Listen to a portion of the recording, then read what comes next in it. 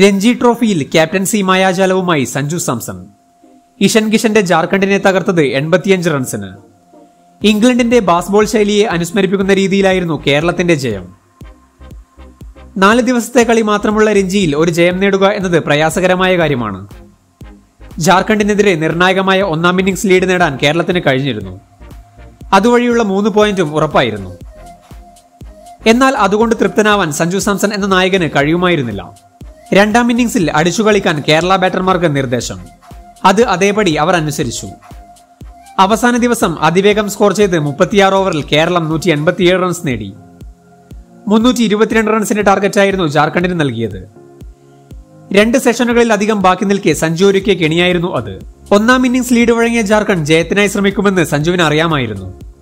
ഇഷൻ കിഷനെ ഓപ്പണിംഗിലിറക്കി അവർ നയം വ്യക്തമാക്കി. ആറ് ഓവറിൽ മുപ്പത്തിയാറ് റൺസ് വന്നു. പതിനേഴ് പന്തിൽ ഇരുപത്തിരണ്ട് റൺസോടെ കിഷൻ പുറത്തായപ്പോൾ മുതൽ കാര്യങ്ങൾ സഞ്ജുവിന്റെ വഴിക്ക്. അഞ്ച് വിക്കറ്റുകളുമായി വൈശാഖ് ചന്ദ്രനും നാല് വിക്കറ്റോടെ ജലക് സക്സേനയും ബോളിംഗിൽ ആളിക്കത്തി. ജാർഖണ്ഡിനു വേണ്ടി വിക്കറ്റ് കീപ്പർ കുശാഗ്ര സമനിലയ്ക്കായി പൊരുതിയിരുന്നു. എന്നാൽ ആ ഭീഷണി കൂടി തന്റെ കിഡിലൻ ബൌളിംഗ് ചേഞ്ചിൽ സഞ്ജു മറികടന്നു. എൺപത്തിയഞ്ച് റൺസിന്റെ ജയത്തോടെ കേരളം. ആദ്യ ഇന്നിംഗ്സിൽ സഞ്ജു അർദ്ധ സെഞ്ചുറി നേടിയപ്പോൾ സെഞ്ചുറിയുടെയായിരുന്നു കിഷന്റെ മറുപടി. ജയത്തോടെ ഒരുപടി മുന്നിൽ നിൽക്കാനും സഞ്ജുവിനായി. രാജസ്ഥാനെതിരെയാണ് രഞ്ജിയിൽ കേരളത്തിന്റെ അടുത്ത മാച്ച്.